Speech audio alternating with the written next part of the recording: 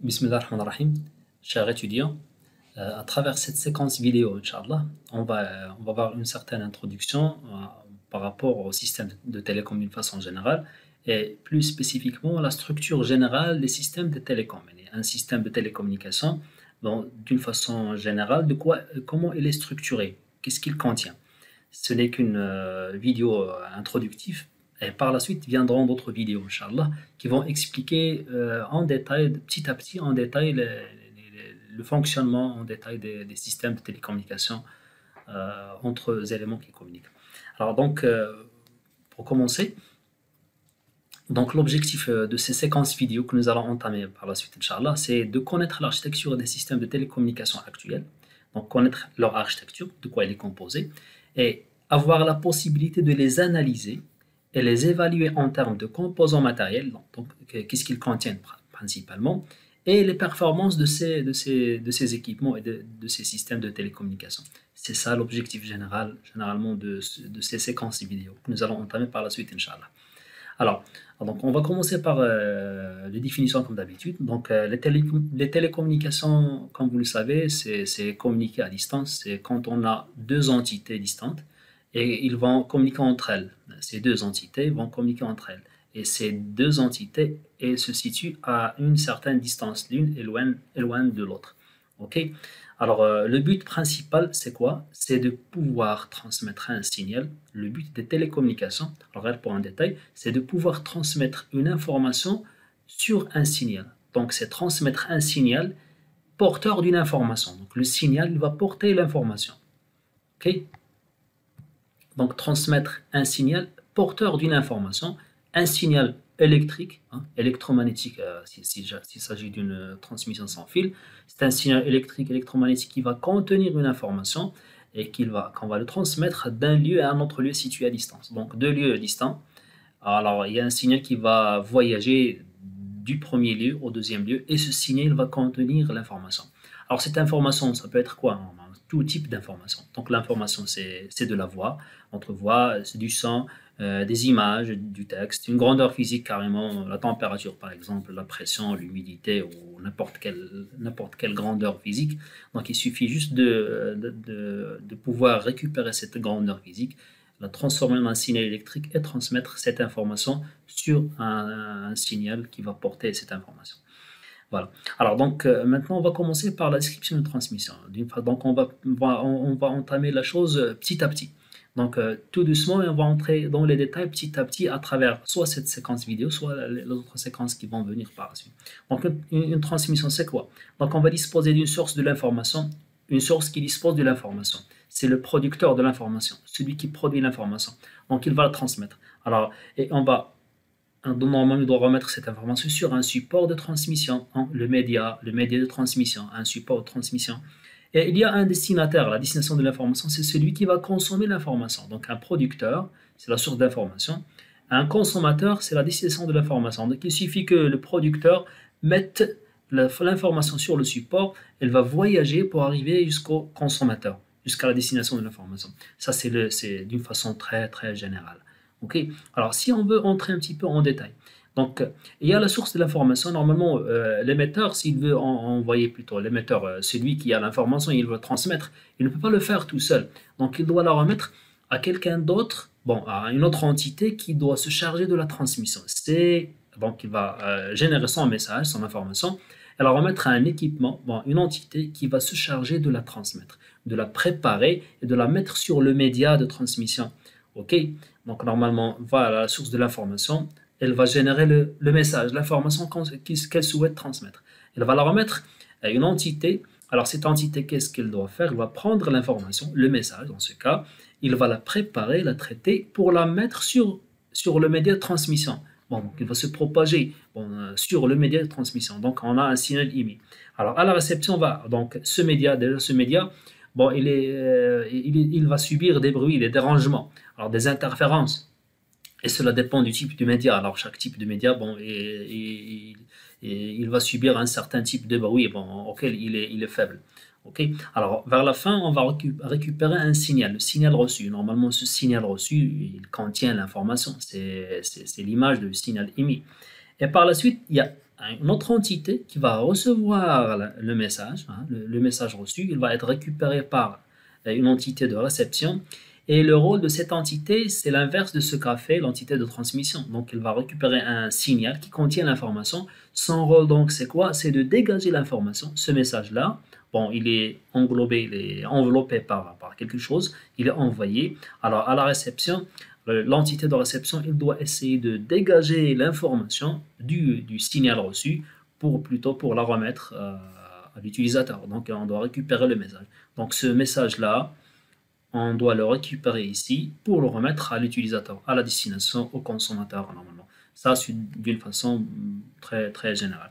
Mais sinon, euh, ce type de, transmission, normalement, c'est d'une source vers une destination. C'est ce qu'on appelle une communication ou bien une transmission unidirectionnelle. Donc, l'émetteur, toujours, il émet et le récepteur, il reçoit toujours, comme le cas de la radio, hein, la, radio qu'on écoute, ou bien la télévision.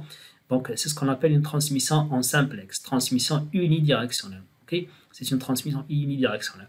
Sinon, il y a un autre type de, communication entre deux entités, ce qu'on appelle euh, la communication bidirectionnelle alternée, comme le, euh, ce qu'on appelle euh, en, anglais le half duplex.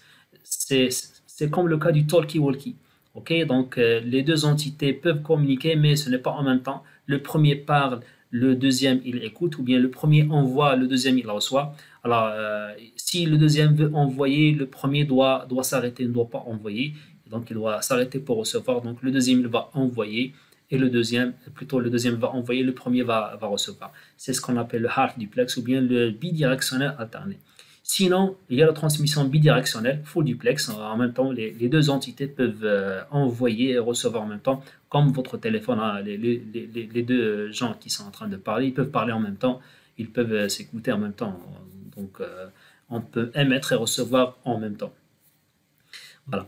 Alors maintenant, on va, va détailler un petit peu, euh, d'une façon vraiment euh, superficielle, les éléments qui constituent notre petite chaîne de transmission. Alors on parle de la source d'information.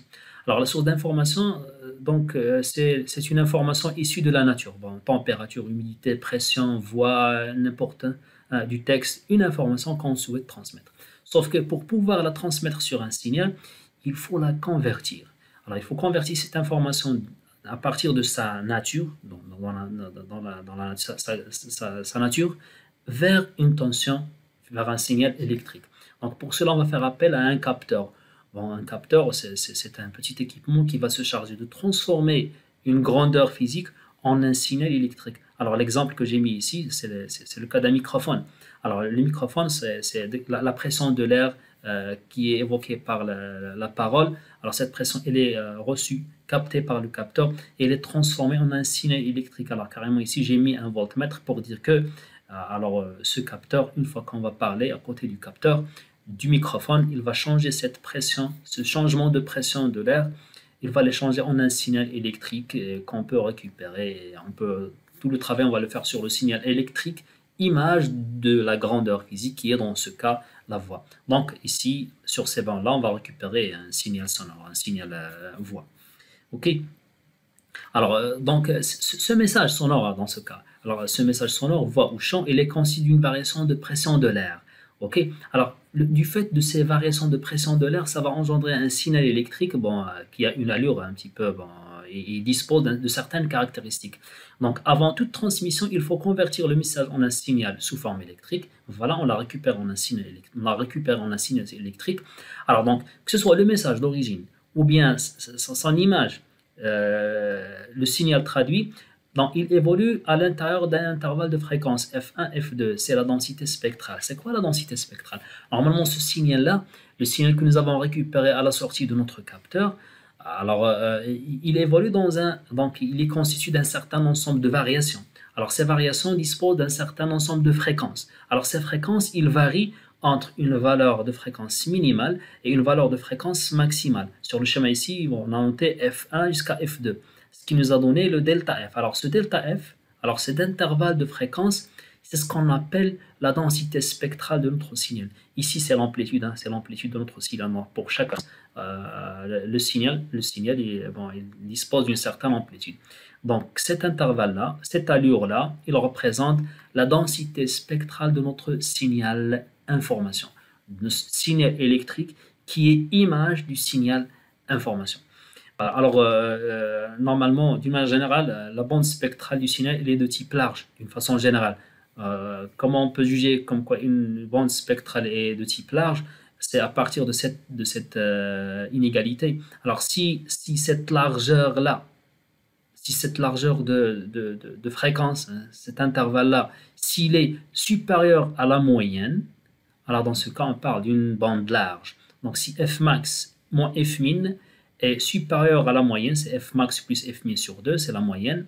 Si cette euh, valeur de, cet intervalle, si elle est supérieure à la fréquence moyenne, alors on parle dans ce cas d'une bande large. Donc le delta f est supérieur à f moyen. Donc on, doit émettre une bande qui est assez large par rapport à la moyenne. Ok? Alors maintenant on va passer au canal de transmission.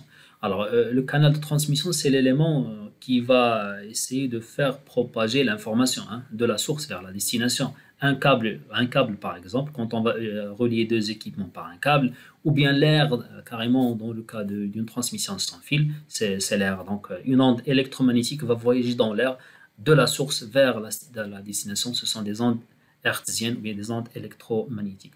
Alors le canal de transmission, alors c'est quoi? C'est la propriété du champ électromagnétique dans le cas d'une transmission sans fil de se propager sous forme d'ondes qui est utilisé pour réaliser des transmissions entre émetteur et récepteur. Il y a l'émetteur, il y a le récepteur, il y a des ondes électromagnétiques dans le cas d'une transmission sans fil, des ondes électromagnétiques qui vont voyager de l'émetteur vers le récepteur. Alors je l'ai schématisé ici par une surface d'eau calme, quand la surface d'eau est calme, et on va jeter une petite pierre. Qu'est-ce que ça va créer? Ça va créer des, des ondes, de petites vagues des ondes. Alors euh, ça, c'est la source de l'information. Et l'information va voyager sur, sur la surface de l'eau, de l'émetteur vers un certain un point sur la surface. Donc le récepteur, il peut, il peut être n'importe où sur la surface de, l'eau. Alors, euh, normalement, ce, ce, milieu de transmission, le canal de transmission, bon, il a certaines caractéristiques qui sont un petit peu nuisibles à la transmission. Alors, donc, à l'exception du vide, tous les autres milieux, l'eau, l'air et l'atmosphère, donc si ce n'est pas le vide, les autres milieux, que ce soit l'eau, l'air, l'atmosphère ou bien autre, euh, le cuivre par exemple, euh, un conducteur électrique, sont, sont absorbants et dispersifs. Alors, ça veut dire quoi? Ça veut dire quoi? Ça veut dire qu'une partie de la puissance de l'onde est perdue. Alors, vous pouvez le remarquer, et je peux revenir sur ce schéma-là, vous pouvez remarquer que ici, l'onde, il est, il, est grande, hein, la forme de l'onde, il est grande, mais à chaque fois qu'on va s'éloigner du centre, l'onde, elle va devenir petite, faible. Alors, ceci, il est dû aux qualités, aux caractéristiques du milieu, qu'il est un milieu absorbant et dispersif, ce qui veut dire qu'on va, on perd de la puissance de notre onde. Ok?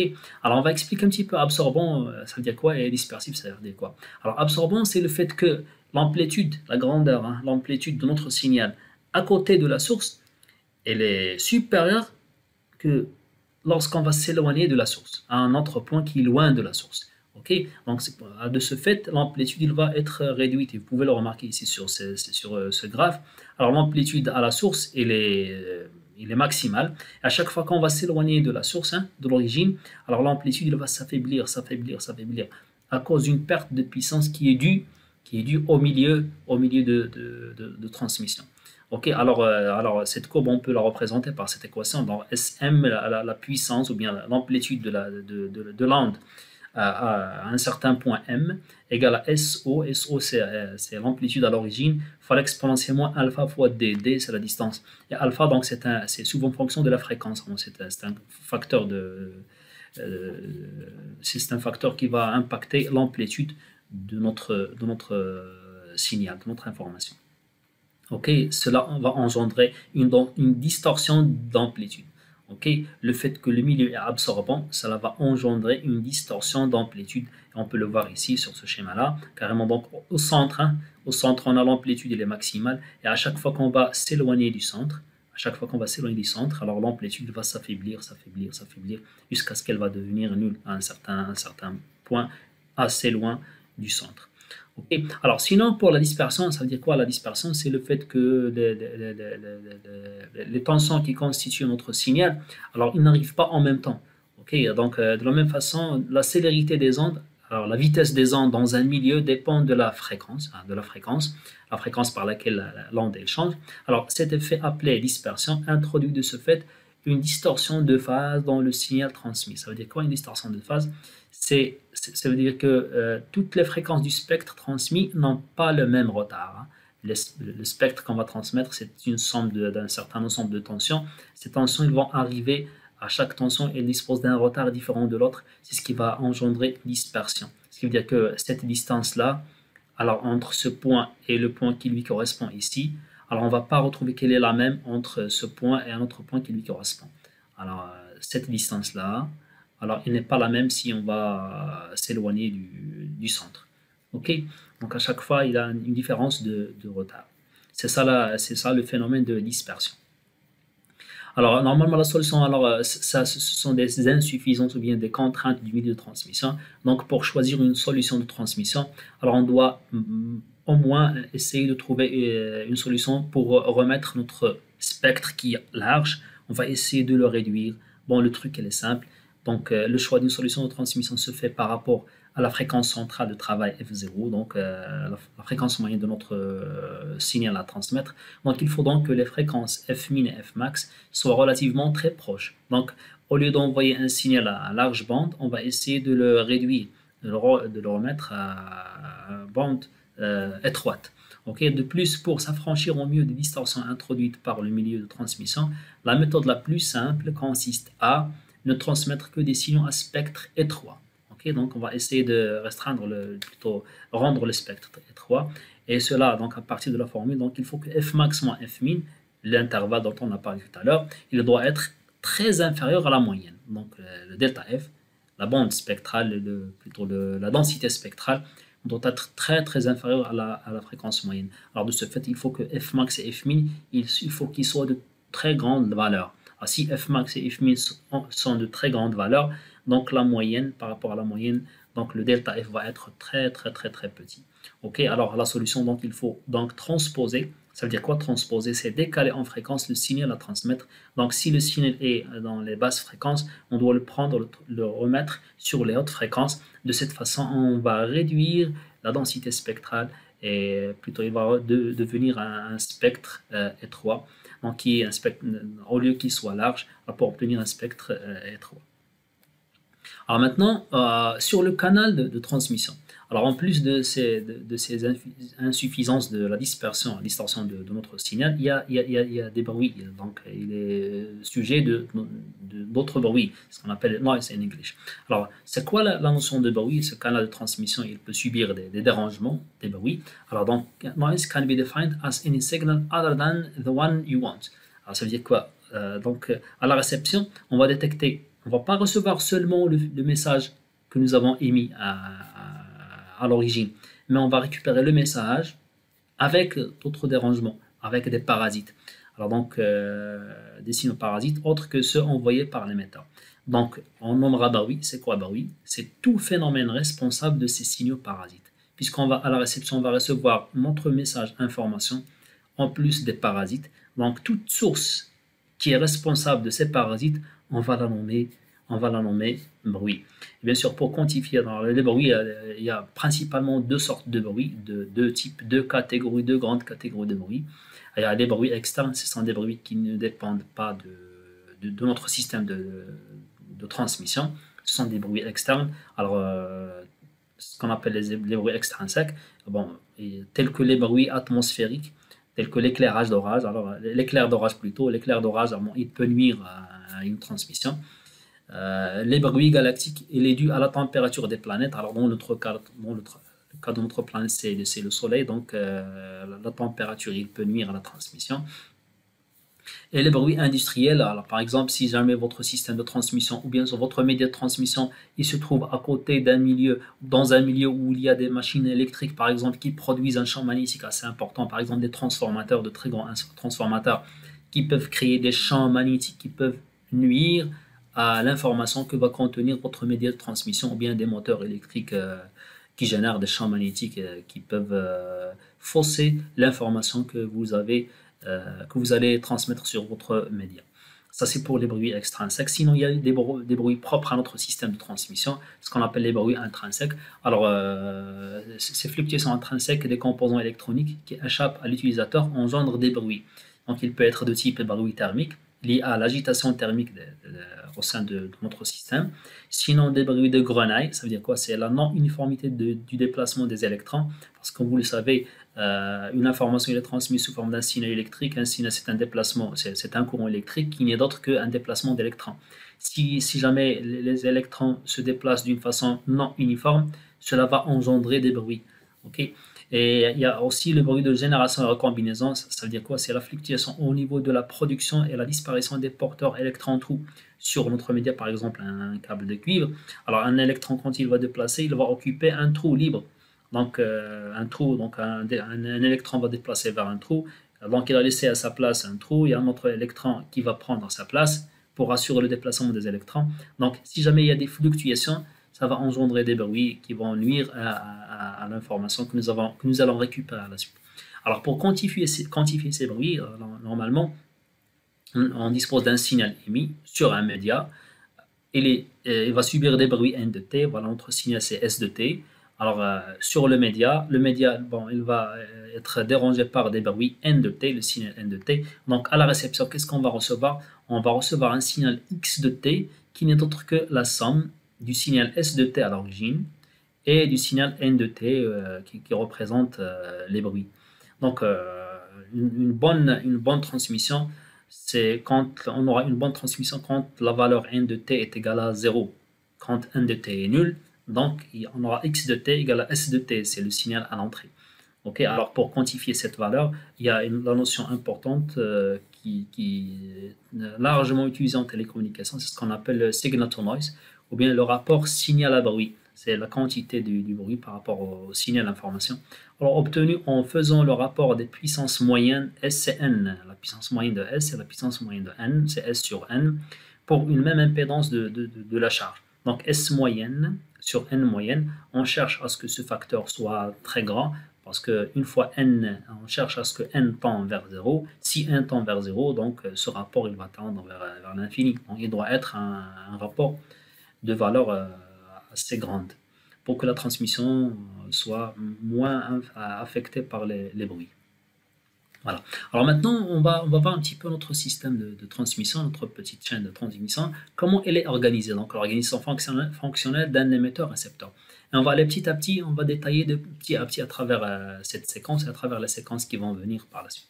Alors normalement, la liaison se décompose, la liaison d'un émetteur-récepteur, il y a trois parties, trois parties principales. Il y a l'émetteur et le récepteur et le canal de transmission qui va subir des, bruits par exemple, euh, principalement.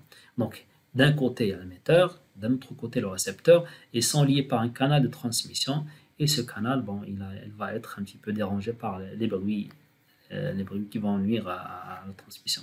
Ok, alors maintenant on va voir chaque élément de cette chaîne, euh, c'est quoi son rôle. Alors l'émetteur, comme on vient de le voir, il va récupérer le message de chez la source, il va apporter un certain changement, un certain traitement avant de le mettre sur le média, sur le canal de transmission. Alors donc le rôle de l'émetteur est de convertir le message à transmettre sous forme d'un signal électrique modulé et transposé à la fréquence d'émission, puis d'amplifier en puissance et d'émettre sur les antennes. Tout cela doit le faire l'émetteur. Donc normalement, ceci ne va pas être réalisé par un, un seul bloc. Il y a différents blocs, il y a des parties euh, chaque partie il va se charger d'une opération parmi toutes ces opérations-là. Donc, euh, convertir le message à transmettre sous forme d'un signal électrique, on doit le moduler, le transposer à la fréquence d'émission, amplifier à la puissance d'émetteur et le mettre euh, à la puissance et le mettre sur l'antenne. Tout cela doit être fait par, par l'émetteur. Alors de son côté, le récepteur, donc il va faire le travail inverse, mais il va le faire à travers une antenne. Donc à partir d'une antenne, d'une autre antenne, à la réception, le récepteur devra restituer le message le plus fidèlement possible. Donc la charge la plus pénible, c'est chez le récepteur. Pourquoi? Parce qu'il ne va pas recevoir seulement le message euh, d'origine, le message émis, mais il va euh, récupérer le message émis mélangé avec des bruits. Donc il doit normalement essayer de restituer, récupérer le message le plus fidèlement possible donc il va essayer de dégager les, bruits, les éliminer pour récupérer l'information qui a été émise à partir de la source. Ok Alors, si on voit un petit peu en détail ces blocs et qu'est-ce qu'ils font, voilà donc euh, l'émetteur, voilà le récepteur. Donc euh, les différentes, euh, les différentes opérations, donc voilà la source, il va donner le message, hein, il va générer le message à transmettre. Donc l'émetteur doit le, le, traduire sous forme d'un signal électrique, ce qu'on appelle un signal informatif primaire. Bon, c'est un signal continu dans le temps. Ensuite, il va subir un certain traitement. Alors, ce traitement, pour avoir récupéré un signal informatif secondaire, on va passer la préparation à la, transmission, on doit le moduler et le mettre. ok le mettre sur le, canal. Et à la réception, on va, on va faire le travail inverse. ok? Alors maintenant, on va voir euh, euh, chaque bloc, c'est quoi son qu'est-ce qu'il fait? Alors, au niveau de la traduction, qu'est-ce qu'elle fait? Donc, elle permet de convertir un signal, par exemple la voix, ou n'importe, n'importe quel signal euh, de la grandeur, de, une grandeur physique, en un signal électrique, parce que la transmission va se faire à travers des signaux électriques, via un microphone. Alors, dans le cas de la voix, c'est un microphone. Inversement, de l'autre côté, elle convertit un signal électrique en un, en un son via un haut-parleur. Donc, de l'autre côté, euh, ici, de l'autre côté, la traduction, il fait le travail inverse. Hein. À partir d'un signal électrique, on doit récupérer un signal euh, du son, on doit l'écouter, donc à travers un haut-parleur. C'est ça le rôle du traducteur. Alors sinon, pour le traitement, alors ça va dépendre un petit peu, ça va être différent un, un, petit peu. Alors donc il peut s'agir simplement d'une amplification linéaire dans le cas d'une transmission analogique. Alors de pré-accentuation plutôt, c'est ça l'amplification. Euh, gain variable avec la fréquence. Sinon en numérique, alors, ça, peut différer un petit peu. Alors, il peut s'agir euh, du codage de l'information. Donc, on va coder l'information puisque c'est une information numérique. Donc, on va procéder par des traitements numériques. C'est euh, du codage de l'information pour avoir une confidentialité, par exemple, une sécurité pour détecter les erreurs, par exemple, ou pour optimiser la rapidité de la transmission. Si on veut le compresser pour avoir une petite quantité d'informations pour optimiser un petit peu la, transmission de, notre donnée. Euh, c'est ça la partie traitement dans le cas du numérique. Ensuite, la modulation, c'est quoi, quoi le rôle de la modulation? C'est le fait de réduire, rétrécir un petit peu la, densité spectrale de notre signal, c'est le remettre sur les hautes fréquences.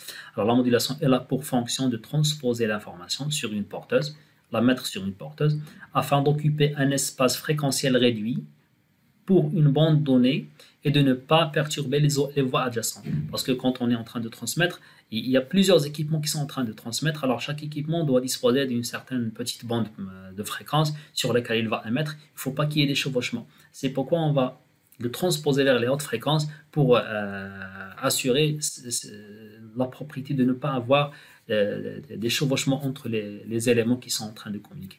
Alors cette modulation, elle consiste à, bon, c'est ce que nous allons détailler par la suite à travers ce cours.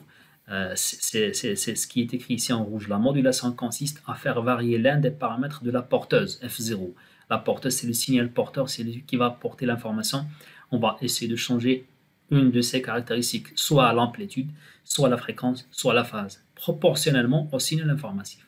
Donc le signal information, il va agir, les changements du signal information vont agir sur l'une de ses propriétés, soit l'amplitude, soit la fréquence, soit la phase de la porteuse. C'est ça le rôle du bloc modulation. Ok? Alors bien sûr, euh, après modulation, on va amplifier un petit peu le signal et le remettre sur le canal. Alors le canal, il indique le milieu dans lequel se propage le signal, mais il indique aussi la partie plus ou moins large du spectre occupé. Donc sur un canal, donc un canal, il a une certaine capacité euh, pour supporter les signaux. Donc euh, cette capacité, c'est la, bande passante de notre canal de transmission. C'est un facteur auquel il faut faire attention quand on veut transmettre une information sur un canal. Alors euh, la démodulation, c'est le travail inverse de la modulation. Donc c'est l'opération qui, à partir du signal modulé reçu du canal de transmission, permet de reconstituer le signal informatif, après traitement bien sûr. Donc on doit récupérer notre signal d'information à partir de la porteuse au niveau du bloc démodulation. Alors bien sûr, ces, opérations de modulation et, démodulation, euh, il y a un certain ensemble d'opérations qui se font. Alors on parle d'amplificateur, soit au niveau de l'émetteur, soit au niveau du récepteur. Il a pour fonction d'augmenter le niveau du signal parce que quand le signal voyage à travers le média, il va perdre puissance Pour cela, on doit l'amplifier pour pouvoir euh, apporter euh, les traitements qui vont nous aider à récupérer notre information. Donc, les amplificateurs les plus courants sont à transistor. Généralement, c'est transistor. Sinon, on utilise des circuits intégrés spécifiques. On parle bien sûr de l'ensemble de filtres, donc c'est une fonction très très très importante au niveau de la transmission, puisque quand on veut transmettre sur une fréquence bien, bien spécifique, on doit disposer de, cet élément, le filtre, qui va récupérer juste euh, la, fréquence sur laquelle on veut, on veut travailler. Donc, ils ont pour fonction de séparer les signaux utiles des autres signaux. Ils sont omniprésents, donc ils sont toujours là, et à base de condensateurs et de bobines, bien sûr, ou bien d'autres circuits actifs, tels que quelques amplificateurs. OK Et bien sûr, euh, pour euh, transmettre, émettre et recevoir, on aura besoin d'une antenne. Alors, c'est une interface entre les milieux dans lequel les ondes se propagent et l'appareil où elles sont guidées. Alors, l'antenne va se, se, retrouver ici au niveau du récepteur ou bien au niveau de l'émetteur. Alors, ici, l'antenne va se trouver ici au niveau de l'émission et ici au niveau de la réception. Voilà, donc c'est un aperçu général sur euh, le les principaux composants d'une façon très grossière, très générale d'un système de communication, de télécommunication entre deux entités. Donc, euh, c'est la fin de cette séquence et je vous vois dans la suite, Inch'Allah, pour aborder les lignes de transmission.